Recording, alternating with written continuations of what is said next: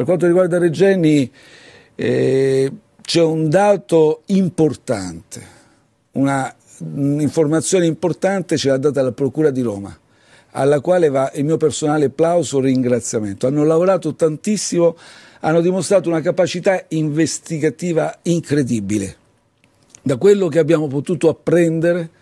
abbiamo degli elementi che denotano un quadro probatorio, indiziario, probatorio, adesso non voglio entrare nel tecnico, che ha una certa solidità e comunque consentirà, con tutte le verifiche e le garanzie del caso che il nostro ordinamento offre, di poter celebrare un processo,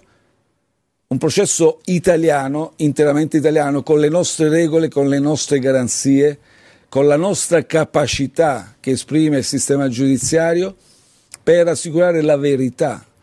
su una morte che anche dagli ultimi dettagli si è rivelata assolutamente avvenuta con modalità efferate e particolarmente cruente e crudeli. Vogliamo la verità e continueremo come governo a operare tutti quei passi necessari e funzionali per ottenere questa verità e valuteremo qualsiasi altra iniziativa che possa essere comunque in questa logica utile e, e, comunque complementare rispetto a questo obiettivo, rispetto alla giustizia che dobbiamo a questo nostro ragazzo, ai suoi familiari.